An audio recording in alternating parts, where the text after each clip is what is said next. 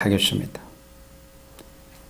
내가 아버지께 구하겠으니 그가 또 다른 보혜사를 너에게 주사 영원토록 너희와 함께 있게 하시리니 저는 진리의 영이라 세상은 능히 저를 받지 못하나니 이는 저를 보지도 못하고 알지도 못함이라.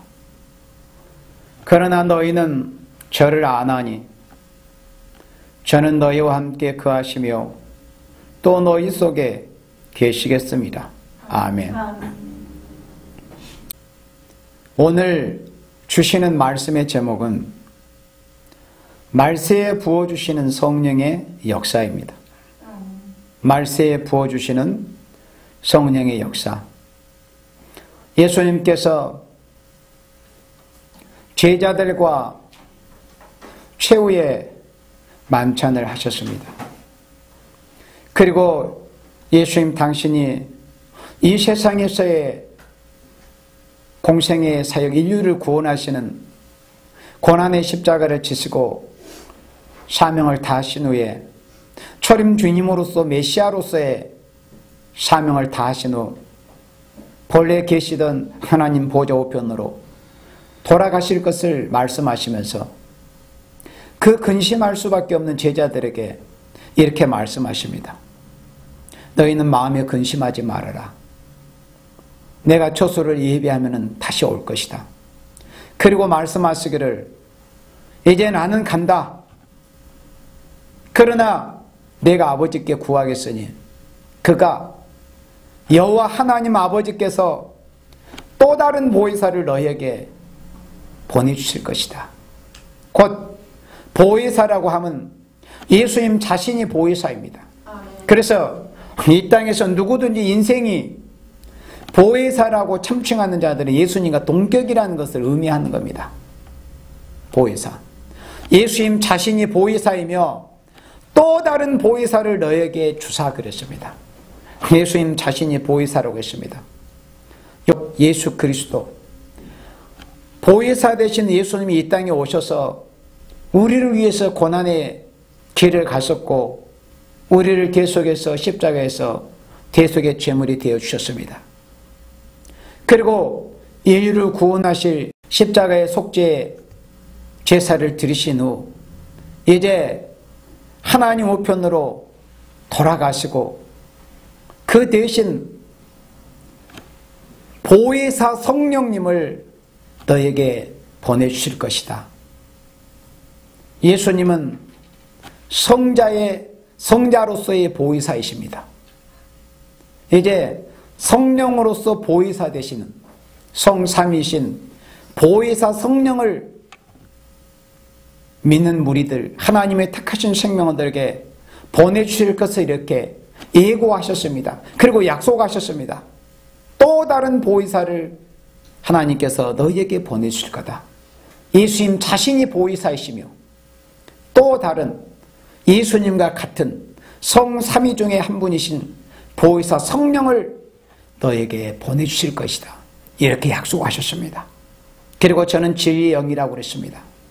예수님의 말씀이 육신이 되어서 보이사 되시는 예수님은 말씀이 육신을 입고 이 땅에 오셨습니다.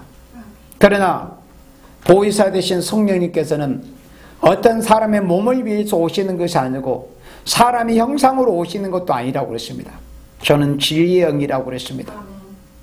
저는 진리의 영이라 세상은 능히 저를 받지 못하나니 이는 저를 보지도 못하고 알지도 못함이라. 그러나 너희는 저를 아나니 저는 너희와 함께 거하시며 너희 속에 계시겠음이라.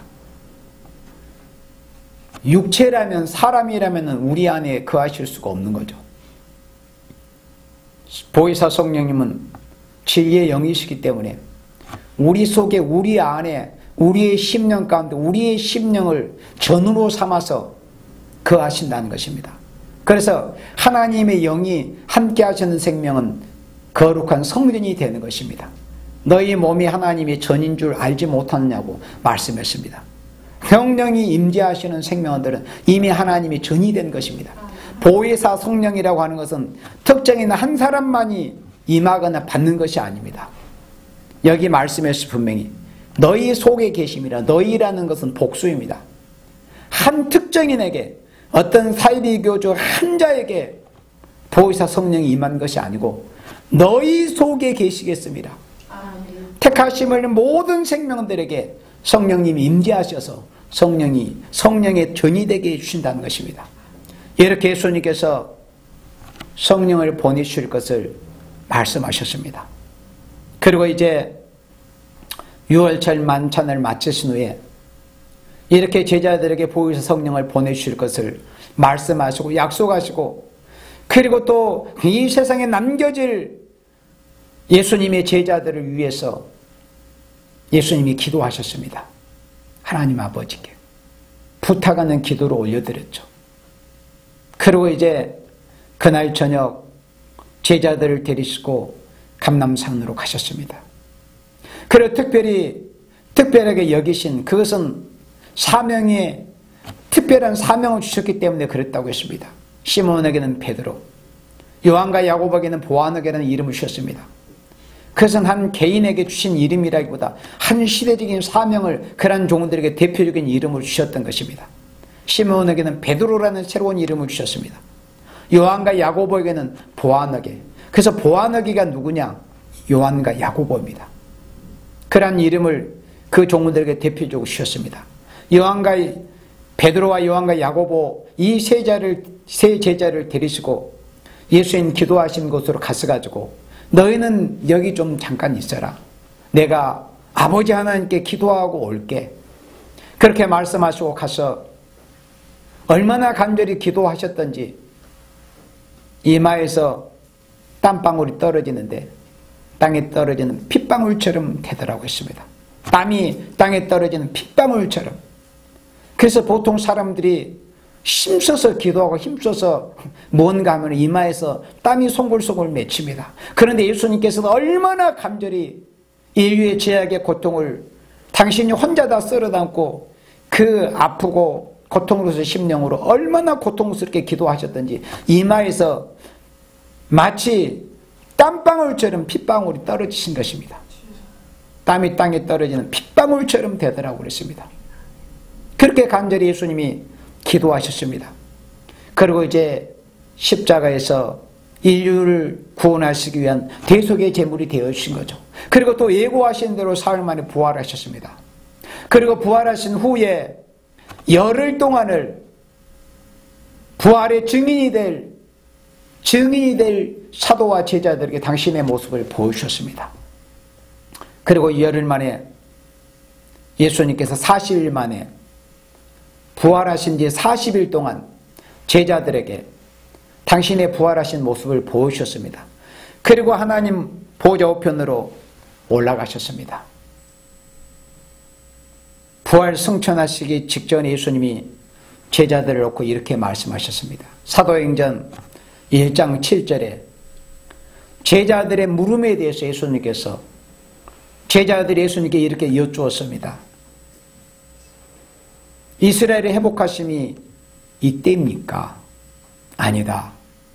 때와 기한은 너희의 알 바가 아니다. 때와 기한은 아버지께서 당신의 오직 절대적인 주권 권한에 두셨기 때문에 너희들이 알 바가 아니다. 그래서 하나님이 역사에 대해서는 절대 다시금 강조하지만은 우리 교회든 이 지구상의 어떤 교회이든지 간에 때와 기한에 대해서는 결코 알려고 할 필요가 없습니다. 너희 알 바 아니라고 그랬어요. 다만 우리는 예수님께서 우리에게 주님의 몸된 교회들에게 사랑하시는 종들에게 뭘 원하시는지 무슨 사명을 하게 하시는지 어떤 일을 어떤 사명을 하시기를 원해 이걸 바로 알아서 지극히 작은 일에서부터 충성히 나가면 되는 것입니다. 때야 기한은 너희 알 바 아니다. 그냥 세상에 돌아가는 징조를 보고 아 정말 때가 임박했구나. 그럼 우리가 더 열심히 분발하고 더 거룩한 흥분을 받기 위해서 우리가 기도하고 부르짖고 깨끗이 힘쓰고 하나님이 우리에게 나에게 하게 하시는 사명에 힘쓰는 것을 보여야 되지 그저 아무것도 하지 않고 때나 기한이나 날짜나 짓고 있고 그것은 바른 성령 받은 사람의 모습이 아닙니다. 때야 기한은 너희 알 바가 아니라고 그랬어요. 아무도 모른다. 아들도 모르고 천사도 모른다. 그런데 왜 인생들이 그런 하나님의 예수님의 말씀을 지해버리고 빼버리고 성경에서 빼버리고 마치 자신들이 뭔가 때야 기한을 그 날과 그 시를 아느냐 그렇게 합니까? 그게 미혹의 영이 들어가서 그럽니다. 때야 기한은 너희 알바 아니다. 아버지의 절대 주권입니다. 그러면 너희 할 일이 뭐냐? 사도행전 1장 8절 오직 성령이 너희에게 임하시면 너희가 권능을 받고 예루살렘과 온 유대와 사마리아 땅 끝까지 이르러 내 증인이 되어야 할 것이다. 시대에 대해서는 알려고 할 필요 없습니다. 우리는 시대에 대해서 굳이 알려고 하지 않아도 하나님의 말씀을 통해서 세상이 돌아가는 것을 분명히 말씀 안에서 바로 분별하고 볼 수 있잖아요. 다만 하나님께서 우리에게 내게 우리 교회에 주신 사명이 무엇인가? 그 사명만 충성되이 진실하게 죽도록 충성을 다하는데 여기에 주안점을 두어야 되지. 공연히 바람을 잡는 듯이 뚱구름을 잡는 것처럼 그저 때나 기한에나 관심을 가지고 그러다가 시한부 종말론자들이 되고 마는 것입니다. 시한부 종말론자들이 자기네들이 예고했던 날짜가 되냐면 자신들에게만 고통이 있는 게 아니고 그로 말미암아서 기독교라는 그 이미지에 얼마나 잘못된 영향을 끼치게 됩니까? 알지 못하는 이방 사람들은 다 한 기독교를 보지 뭐 따로 봅니까? 때야 기한에 대해서는 알 바가 아니다. 다만 성령이 너에게 임하시면 예수님께서 이렇게 성령을 보내주실 것을 말씀을 했습니다. 말세. 그래서 예수님께서 너희는 예루살렘을 떠나지 말고 아버지 약속하신 것을 기다리라. 예수님이 승천하신 모습을 보았습니다. 사도행전 1장 11절에 주로 갈릴리 출신이었던 제자들이 예수님이 승천하신 모습을 물끄러미 바라보고 있을 때 좌우의 천사들이 나타나서 갈릴 사람들 어찌 하늘을 쳐다보느냐 너희 가운데서 올려오는 예수는 하늘로 가심을 본 그대로 하늘로 가심을 본 그대로 오시리라. 너희 이 육체의 눈으로 육신의 눈 육안으로 본 그대로 예수님이 재림하실 때도 요한예시로 1장 7절처럼 볼죄다 구름을 타고 오시리라. 절대 영으로 재림하신다는 것이 아니고 이미 재림했다는 것도 잘못된 거짓이고 뭐 영적으로 재림했다는 것. 또 누구에게 재림이 임했다는 것. 전부 마귀의 미혹입니다. 예수님 재림하시는 그날은 이 땅에 사는 인류가 모두가 다 볼 수 있게 예수님이 오시는 것입니다. 동해 번쩍 서해 번쩍 하시는 것처럼 모두에게 두려움이 되는 그런 날로 그래서 예수님의 분부를 받들어서 예루살렘을 떠나지 않고 그들은 다락방에 모였습니다. 그 모인 수가 120명 된다고 성경에 기록이 되어 있습니다. 그래서 전혀 열흘 동안 전혀 기도에 힘을 썼습니다. 예수님 십자가에 달신 6월절로부터 시작을 해서 예수님이 부활하시고 40일 동안 이 땅에 보이셨습니다. 그리고 열흘 동안 전혀 기도에 힘을 썼습니다. 그러니 날짜를 계산을 해보면 6월절로부터 50일째가 됩니다. 오늘이 여러분들 교회 달력에 보시면 성령 강림절이라고 이렇게 되어 있는 것을 우리 교회 달력에서 보실 수 있을 것입니다. 우리 교회들에서 기념하는 부활주일로부터 7주가 지났습니다. 오늘이 이제 부활주일로부터 7주가 지난 오늘을 성령 강림일로 이렇게 교회들에서는 기념을 하는데 성령께서 2000년 전에 오셨습니다. 예수님이 요한복음 14장 이후로부터 다른 보혜사인 성령을 너에게 보내줄게. 아버지께서 내 이름을 보내주실 거다 약속하셨는데 그런데 예수님께서 그런 말씀을 하시기 수백 년 전에 대략 한 700여 년 전에 요엘 선지자에게도 하나님께서 그렇게 예언케 하셨습니다. 그래서 사도행전 2장에서 보니까 이제 오순절날에 이미 이름에 저희가 다 한 곳에 모여서 전혀 열흘 동안 10일 동안을 전혀 기도에만 힘을 썼습니다. 하나님의 어떤 중대한 일이 있고 역사가 있고 하나님의 역사에 있어서 어떤 큰 시대적인 변혁이 있을 때마다 하나님은 크게 부르짖게 하시는 역사가 있었습니다.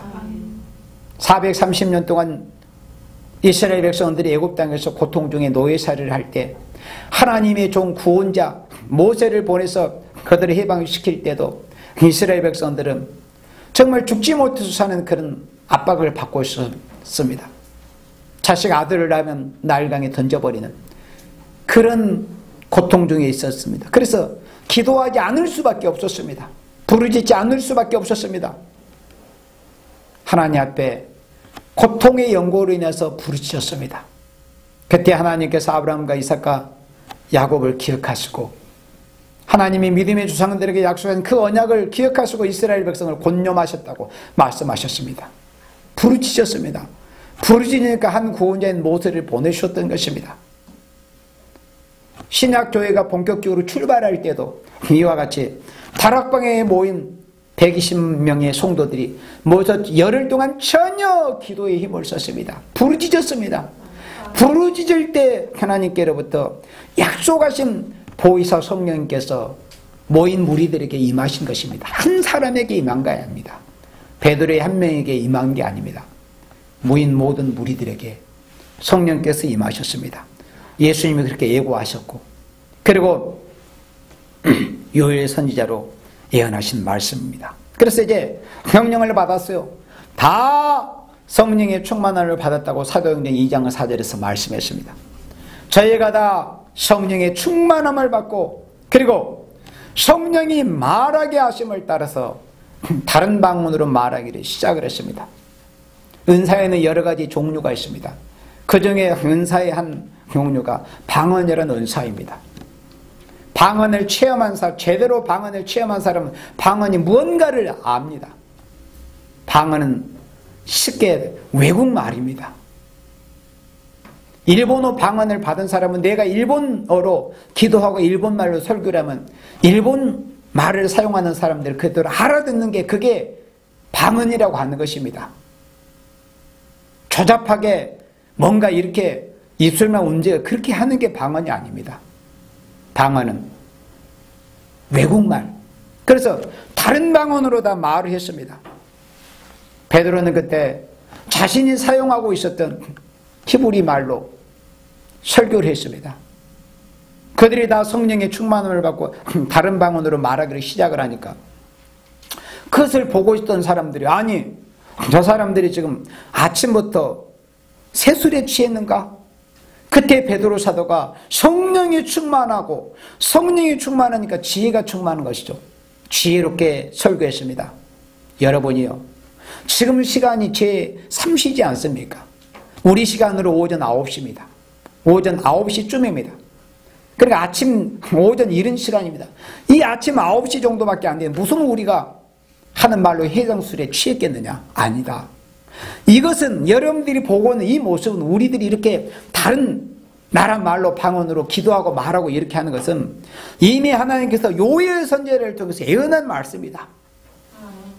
사도행전 2장 17절에 이렇게 사도 베드로가 말씀을 증거했습니다. 하나님이 가라사대 말세에 내가 내 영으로 모든 육체에게 부어주리니 너희의 자녀들은 예언할 것이요 너희 젊은이들은 환상을 보고 너희 늙은이들은 꿈을 꾸리라. 이렇게 거침없이 청산유수처럼 요엘 선지자가 예언한 그 말씀을 증거했습니다. 요엘 2장 28절 말씀을 인용해서 설교한 것입니다. 그리고 사도행전 2장 18절에 이렇게 또 연이어서 증거했습니다. 그때 내가 내 영으로 하나님께서 하나님의 성령으로서 내 남종과 여종들에게 부어주리니 그래서 사도행전 2장 17절과 18절은 요엘 선지자의 예언된 말씀을 쭉 이제 소개하기 위해서 말씀을 했지 한 시대를 말씀한 게 아니에요. 이런 경우가 세례 요한 역시도 예수님에 대해서 증가할 때 심판에 대해서 증가할 때 그는 성령의 세례를 베풀어 줄 뿐이다. 그리고 자신의 타작마당을 정하게 하실 것이라는 것이 증거했습니다. 그러나 초림주님으로 오셨을 때는 예수님께서 심판하시는 역사를 하시지는 않았습니다. 그러나 예수님이 바로 그런 분이라는 것. 지금은 초림주님으로 오셨을 때는 죄인을 불러서 인류를 구원하실 그런 메시아로서 오셨지만 결국에는 내가 증거하시는 저 어린 양 대신 예수님께서는 결국에는 자신의 타작마당을 정결케 하시는 심판의 역사까지 하실 분이라는 것을 한꺼번에 증거한 거예요. 그와 같이 베드로 사도 역시도 사도행전 2장 17절에서는 은혜 시대 은사로 방언의 은사, 예언의 은사, 믿음의 은사, 지혜의 은사, 병 고침 연사, 환상 연사 이런 성령의 은사를 각 사람에게 믿음의 분량에 따라서 사명의 분량에 따라서 부어 주실 것을 사도행전 2장 17절에 요에서 2장 28절을 인용해서 증거했습니다. 그런데 거기서 그치지 않고 이 성령의 역사는 처음에 예수님께서 말씀하신 대로 은혜 시대 은사로 부으시는 성령의 역사로만 끝을 맺는 것이 아니라 예수님 재림시까지 성령이 역사하시는 것을 쭉 이렇게 말씀하신 것입니다. 사도행전 2장 18절에 그때 내가 내 영으로 내 남종과 여종들에게 부어주리니 저희가 애은할 것이요. 이 말씀은 요에서 2장 29절을 인용해서 베드로 사도가 말씀을 증가한 내용입니다. 그런데 성령의 역사라는 것이 2000년 전에 오순절날 임하셨던 그 성령의 역사로서 예수님의 재림하시는 예수님을 맞이하는 것이 아니고 요엘 선지자가 지금으로부터 2000 수백 년 전에 예언하기를 이렇게 늙은이와 젊은이들에게 부으시는 성령의 은사의 역사가 있는데 요엘 22장 2장 29절을 보니까 그때 또다시 한번 남종 여종들에게 부으시는 이런 성령의 역사가 있을 것을 말씀한 겁니다. 그 요엘 2장 29절을 사도 베드로가 사도행전 2장 18절에 이렇게 인용해서 증거할 때 내가 내 영으로 내 남종과 여종들에게 부어주리니 사도행전 2장 17절에서는 은혜시대 오순절날부터 임하시기 시작한 그 성령의 역사는 자녀들은 예언하고 환상도 보고 꿈도 꾸고 이러 가지 이런 여러 가지 그런 은사의 모습을 보입니다. 그런데 또 한 번 말세 예수님 재림을 앞두고 부으시는 늦은 비와 같은 늦은 비와 같은 성령 역사를 부어주실 때는 모든 다수 대중에게 택한 백성이 다 부으시는 게 아니고 종의 역할을 할 남종, 여종들에게 부으시는데 그러면 여기서 어, 종으로서 무슨 역할, 무슨 사명을 할 것인가 할 때 저희가 애은한다는 것을 말씀을 했습니다. 그러니까 특별히 다시 애은할 남종, 여종들에게 부으신다는 거예요. 정말이 마지막 역사는 내 남종과 여종들에게 그러니까 여종들도 얼마나 감사하고 소망이 있습니까? 어떤 사람들은 여종들은 다시 애은 못한다. 그 14만 4천이 안 된다. 이렇게 말을 합니다.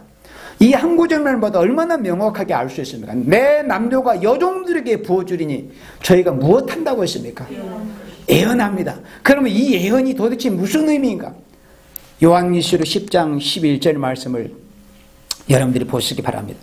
요한일시로 10장 11절. 그러니까 사도행전 2장 18절에 내 남종과 여종들에게 부어주리니 저희가 예언할 것이요. 이 예언은 도대체 종말론적인 관점에서 무슨 의미인가 할 때 계시록 10장 11절에 제가 내게 말하기를 내가 많은 백성과 나라 방과 임금에게 다시 애언하여야 하리라 하더라. 이 말씀입니다.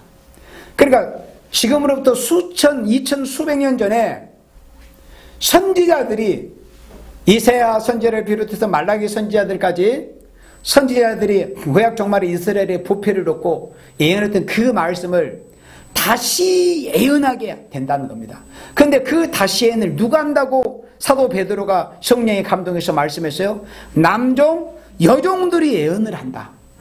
그래서 이렇게 요엘 선지자가 예언한 말씀을 간단하게 그대로 증거했습니다. 저희가 예언할 거죠. 그런데 저희는 누구죠? 남종, 여종들입니다. 그런데 뭘 해요? 예언합니다. 그러면 그 예언의 구체적인 내용이 뭐냐는 것을 계시록 10장 11절에서 말씀할 때 내가 많은 백성과 나라 방과 임금에게 다시 예언한다. 이 다시 예언이라는 것은 구약시대 선지자들이 예언한 말씀, 경고한 말씀을 다시 예언한다는 이런 의미입니다. 그러면 다시에는 누가 합니까? 남종, 여종들이 다시 예언을 하는 것. 그러면 그 예언하는 기간이 도대체 얼마냐는 것을 여러분들 성경 밑에 보세요. 계시록 11장 3절에 내가 나의 두 증인에게 권세를 주리니 저희가 굵은 벼옷을 입고 1260일을 예언하라. 그러면 다시 예언하는 기간이 며칠입니까? 1260일입니다. 다시 예언하는 기간이 1260일에 한정이 돼 있어요. 한정 없이 20년, 30년, 뭐 7년 그렇게 예언한 게 아닙니다. 뭐 수도원에서 7년, 뭐 어느 교회에서 뭐 20년 이런 게 아니고 물론 그런 것도 예언이라고 할 수 있지만 성경적인 예언의 기간 성경적인 법적인 하나님이 규정해 놓으신 성경적인 다시 예언의 기간은 얼마냐면 딱 1260일 뿐입니다. 뭐 7년도 아니고 10년도 20년도 40년도 아닙니다. 성경적인 법적인 다시 예언의 날수가 얼마냐고요? 1260일이 한정이 되어 있어요. 저희가 예언할 것이요. 그러니까 다시 예언은 누가 하냐? 남종 여종들이 합니다. 그런데 다, 남종과 여종들이 다시 예언하는 기간이 일수가 며칠이냐 할 때 1260일을 예언하게 된다는 것입니다. 그러면 누가 예언을 할 것인가? 도대체 남종 여종들이 예언한다고 하는데 남종 여종 이 예언한다는 것만 가지고도 부족합니다. 왜냐? 우리가 지난 주일 저녁에 계시록 9장 공부를 할 때 특별히 황충이 때의 그런 난리에 대해서 보았습니다. 자, 우리 계시록 9장 4절 말씀에 계시록 9장 4절에 보면 황충이들이 나와서 이 세상을 어지럽게 하고 무업천지 무업 세상으로 만드는데 계시록 9장 4절에 이렇게 하나님께서 황충이들에게 명령하십니다. 저에게 이르시되 땅에 풀이나 푸른 것이나 각종 수목은 해하지 말고 그러니까 땅에 풀이나 푸른 것이나 각종 수목은 해하지 말라는 것은 살아있는 신앙을 되는 그러니까 하나님께 인정받은 것 인맞은 종들 인맞은 성도들은 해하지 마라 오직 이마에 하나님이 인맞지 아니한 사람들 그러니까 입맞은 사람들은 그 상태가 어떻다는 거예요. 풀이나 푸른 것이나 각종 수목에 해당이 됩니다. 그런데 오직 이마에 입맞지 아니함, 죽은 신앙을 가진 하나님께 인정받지 못한 인맞지 못한 남녀 종들은만 해라. 그래서 누가 1260을 예언하느냐? 누가 다시 예언하느냐? 남종과 여종들이 예언하는데 그 남종과 여종들은 어떤 종들이냐 할 때 하나님의 입맞은 종들이라는 것을 알 수 있습니다. 하나님의 입맞지 아니한 사람들은 해하라고 그랬어요. 그래서 앞으로는 하나님의 인을 맞지 않는 남녀 종들은 나가서 전도할 수 없는 때가 옵니다. 이렇게 전도지를 가지고도 나가서 복음을 전할 수도 있고 육성으로 전할 수 있고 마음껏 할 수 있지만은 이제는 황충이들이 세상에 나와서 입맞지 아니한 사람들을 공격하고 해야 하는 그때는 결코 어디 나가서 복음을 전할 수가 없습니다. 입맞은 종들이 아니거든. 근데 그 이는 누가 맞는다고 그랬어요? 남종, 여종들이 맞는다고 그랬습니다. 왜? 다시 애언할 종들이 맞는 것이니까. 다시 애언은 누가 합니까? 사도행전 2장 18절에 남종, 여종들이 애언한다고 그랬습니다. 그 입맞은 종들만 애언할 수 있습니다. 그런데 그 입맞은 종들의 수가 몇 명이라는 것을 계시록 7장 4절에서는 분명히 이렇게 밝히고 있습니다. 입맞은 종들의 수 1260일 동안 다시 애언하는 입맞은 남종 여종들의 그 숫자는 몇 명이냐 할 때 계시록 7장 4절에 내가 입맞은 자의 수를 들으니 이스라엘 자손의 각 지파 중에서 입맞은 자들이 14만 4천이니 이렇게 말씀하고 있습니다. 입맞은 종의 수가 몇 명입니까? 14만 4천 명이 인을 맞습니다. 그 입맞은 종들이 며칠에 예언합니까? 1260일에 예언합니다. 그 1260일을 예언하는 것이 다시 예언이라고 했습니다. 그 다시 예언자들을 사도행전 2장 18절과 요엘서 2장 28, 29절에 누구라고 했습니까? 남종, 여종들이라고 말씀을 했습니다.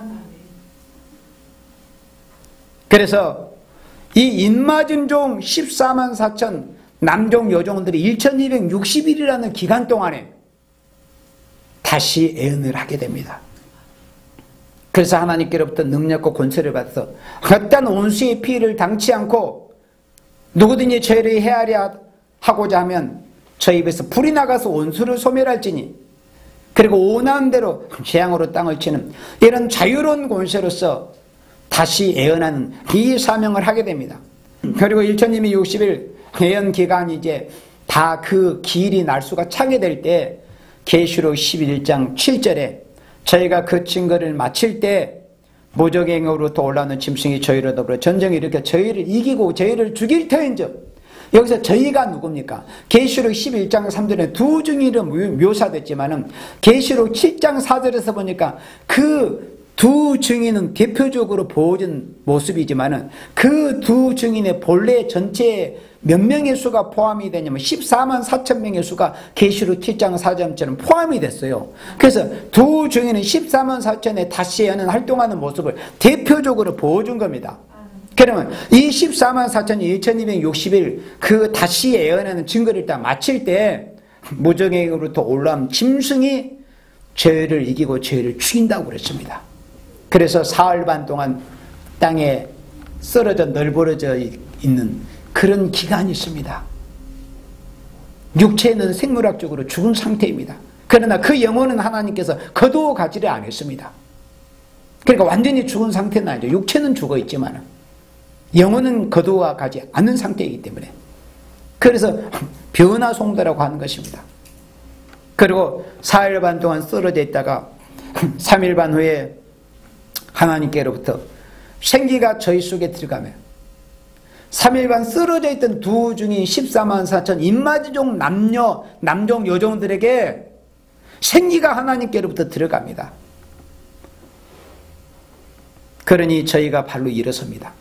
그러니 분명히 사흘 반 동안 쓰러져서 그런 불신자들과 예언의 말씀을 대적하는 자들이 볼 때 꼭 죽은 줄 알았는데 사흘 반에 자기 발로 일어서니까 얼마나 놀라겠습니까? 자기 발로 일어서서 12절에 하늘로부터 큰 음성이 있어 이리로 올라오람을 저희가 듣고 예수님이 이때 공중에 재림하신 것입니다. 그토록 예수님이 이 땅을 떠나신 지 2000년 전에 그때로부터 초대교회로부터 지금까지 베드로도 바울도 모든 우리 믿음의 선지자들이 그토록 기다려왔던 예수님의 재림이 이때 이루어지는 것입니다. 예수님은 아직 재림하시지 않았어요. 절대 예수님 재림하시지 않았습니다. 예수님은 영으로도 절대 재림하시지 않았습니다. 지금은 삼위이신 보혜사 성령을 우리 가운데 보내셔서 역사하고 계시는 것입니다. 예수님의 신부들 14만 4천의 수가 다 차게 될 때 그때 예수님이 공중에 재림하시는 것입니다.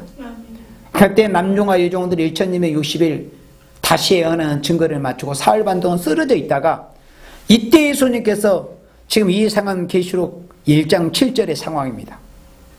이리로 올라오람을 저희가 듣고 구름을 타고 하늘로 올라가니 저희 온수들도 구경하더라. 구름을 타고 올라갑니다.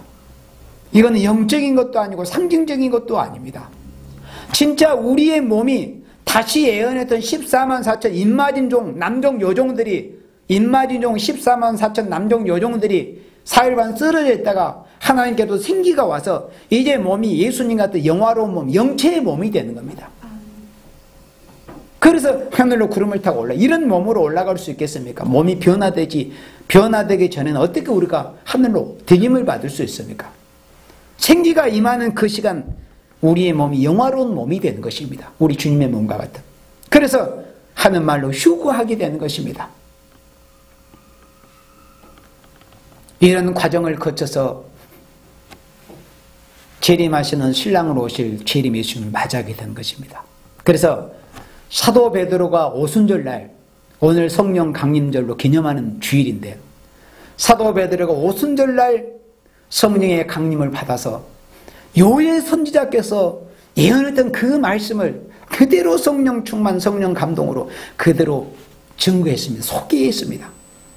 그때 사도행전 2장 18절에 그때 또다시 남종 요정들에게 하나님의 신을 부어주는 그런 역사가 있을 거다.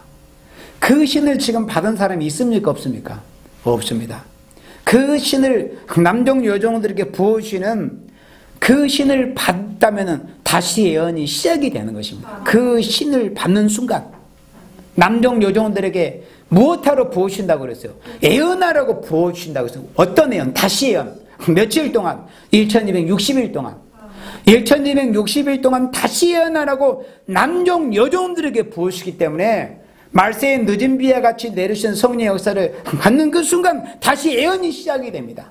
그러니 지금 이 시점에서 아무도 또 다시 부으시는 늦은 비의 성령의 역사, 말세 완전 역사로 늦은 비의 성령의 역사를 부으시는 남종 여종들에게 부으시는 그 일곱 명의 완전 역사로 임하시는 그 성령 역사는 아무도 아직 받지 못하고 있습니다.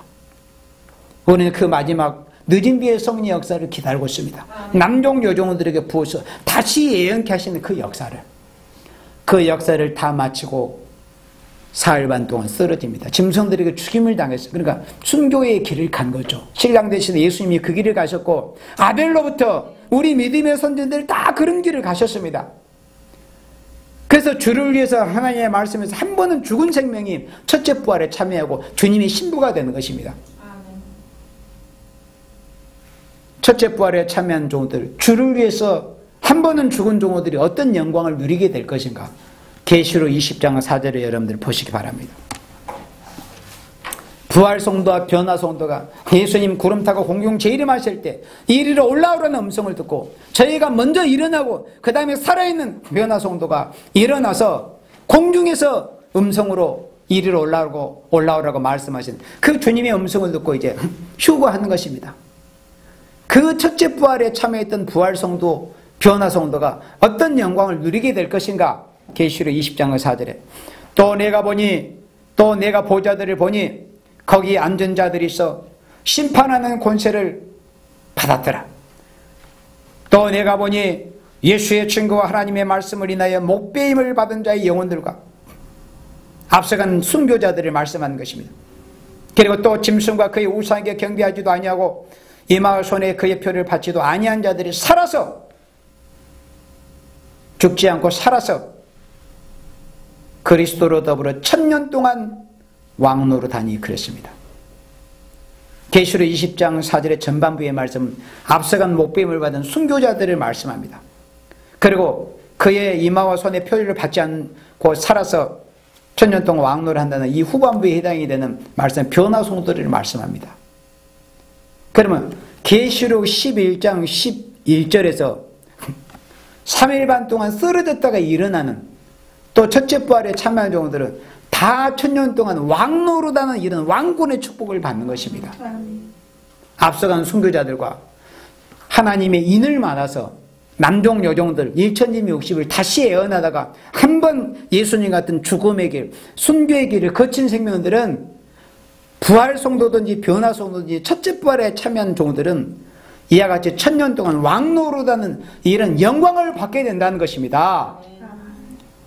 이런 목적을 위해서 하나님께서 보혜사 성령을 보내주시고 인간 농말이 또다시 마치 푸른 풀이에 내리는 늦은 비의 성령 역사같이 곡식의 추수를 앞두고 마지막으로 그 알곡이 알이 충실해지기 위해서 내리는 늦은 비와 같은 그런 종말의 성령 역사를 남종 여종들에게 부으실 것을 사도 베드로가 사도행전 2장 18절에 요엘서 2장 29절 말씀을 인용해서 증가한 것입니다. 그런 종들이 이제 자기의 생명을 바쳐서 굵은 벼옷을 입고 1260일을 다시 애언하는 사명을 하다가 살반 쓰러지는 그런 순교의 길을 거치게 됩니다. 주를 위해서 죽게 됩니다. 그러므로 인해서 이 땅에 그리스도의 나라가 천년 동안 이루어질 때 왕노릇하는 이런 축복을 받게 된다는 것입니다. 아무쪼록 사랑하시는 여러분들, 지금 이 시점은 우리가 하나님 앞에 정말 이 예언의 말씀을 읽고 듣고 지켜서 죽도록 청송과 진실을 다하는 형성과 진실한 종들이 되어서 하나님께 인정을 받는 인마진 종들이 되어서 다시 예언을 앞두고는 이런 시점에서 하나님께 인정받는 종들이 되어야 남종 여종들에게 부어치는 마지막 늦은 비의 성령이 일곱 영으로 임하시는 성령이 완전 역사를 받게 됩니다. 그 역사를 받은 종들이라만이 1260일 다시 예언할 수 있습니다. 아무쪼록 남종 여종들에게 부어주시는 성령의 마지막 일곱 영의 완전 역사를 받아서 1260일 다시 예언하는 사명을 하다가 사일반 쓰러졌다. 주님이 공중에서 이르러 올라오는 음성을 듣고 다 되짐을 받아서 그리스도의 나라가 이, 땅, 이 땅에 천년 동안 이루어지는 그때 천년 동안 주와 더불어서 왕 노릇을 하게 되는 여러분들이 되시기를 주님의 이름으로 축복합니다. 아멘.